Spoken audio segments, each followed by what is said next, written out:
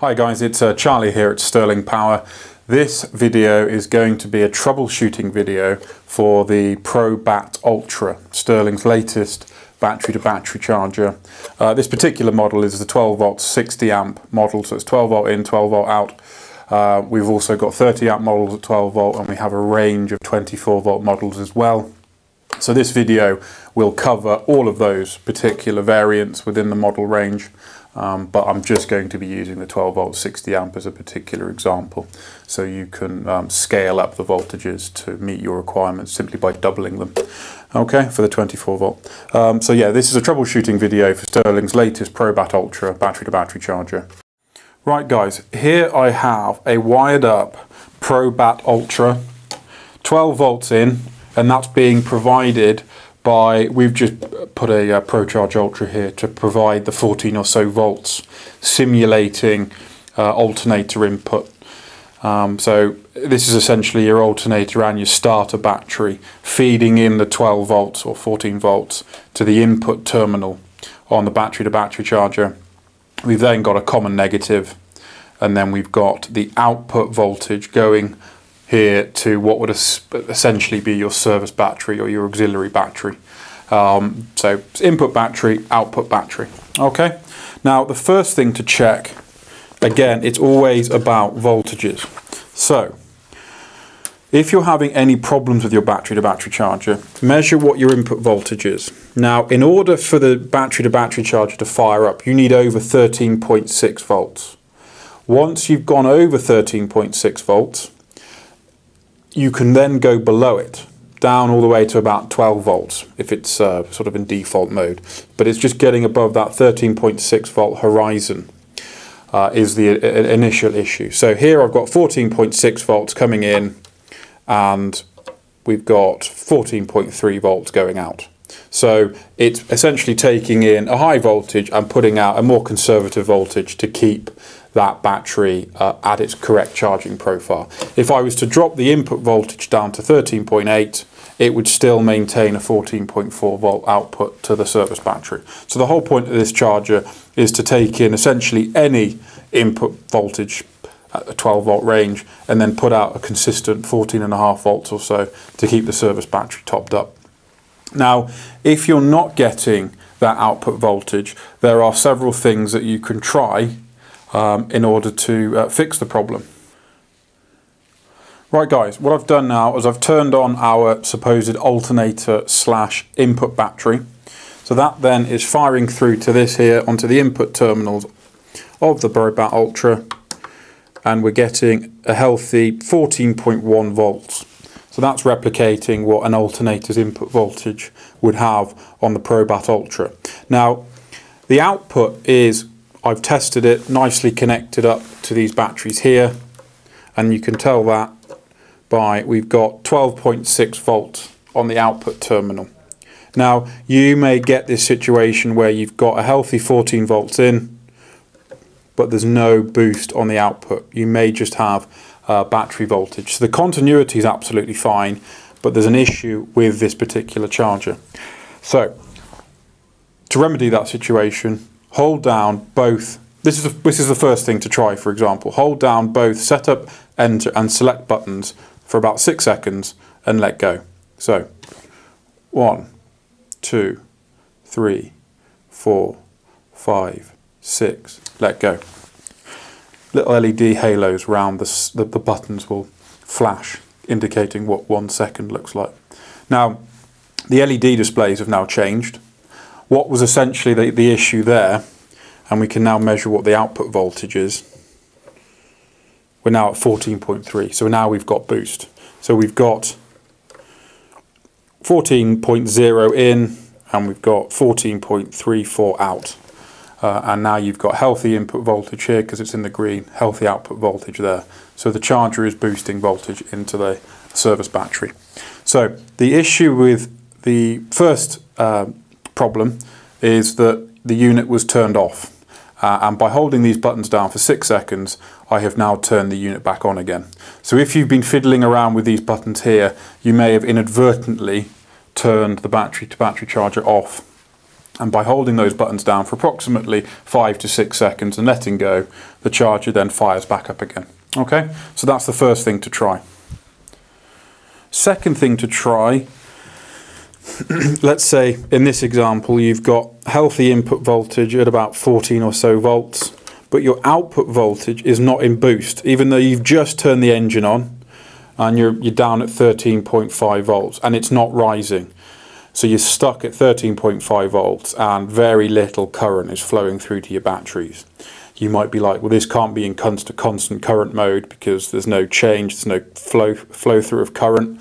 A uh, couple of things might be going on here. There may be a small load on the battery, but however, that's very, very unlikely uh, because this is a big, powerful unit, so it should be able to supplement that no problem. The chances are that, again, these buttons have been fiddled with and you've been put down into float mode. As you can see this float LED is on, this blue one here. Uh, in order to get it out of float mode, simply hold down these two buttons for a couple of seconds. So one, two, let go. LED now goes over to bulk boost mode and then let's see what the output voltage goes up to now.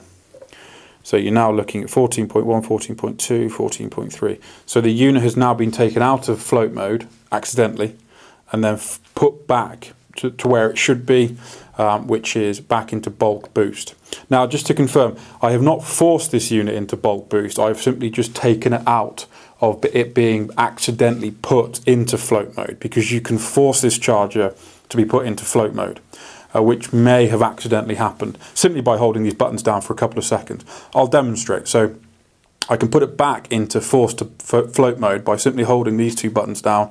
One, two, and then that float light comes on and the voltage on the output is now collapsing down to 13.5. Okay, so to put it back, hold these two down a couple of seconds, and you're back into bulk, and then the output voltage should slowly climb. Right, okay, so we're back up to 14.2, 14.3 on the output. Um, okay, that's the second thing. Right guys, the third thing to try, let's say you are getting healthy voltage in, example 14 volts in, and you're getting a healthy voltage out, 14.3 volts or so. Let's just assume you're getting that. But you find that you've bought a 60 amp charger, but you're only getting 25, 30 amps through the product. Uh, and you've tried to put a load on the service battery to try and increase the current flowing through here to try and get to that 60 amp figure. What may have happened accidentally, and this is what we, we find from time to time, is that the unit has been accidentally put into half power mode.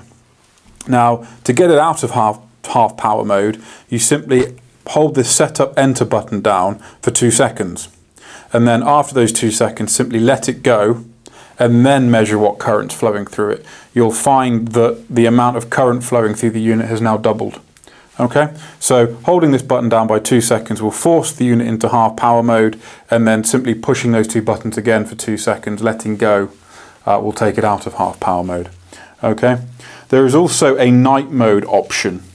Uh, which is a, a, in terms of the current flowing through it, it's similar, but it's holding the select button down by a couple of seconds. So that may have accidentally been activated as well.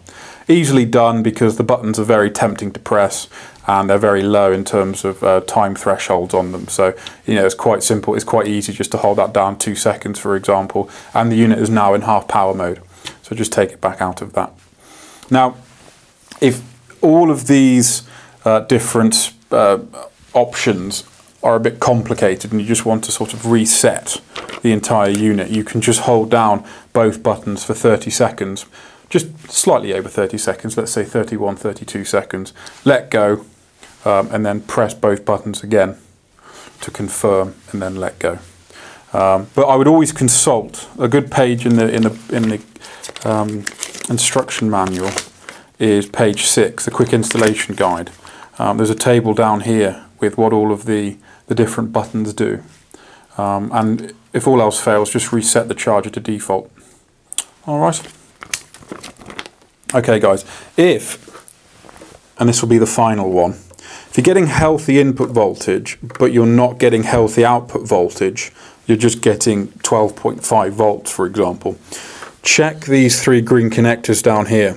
These are your operational mode connectors.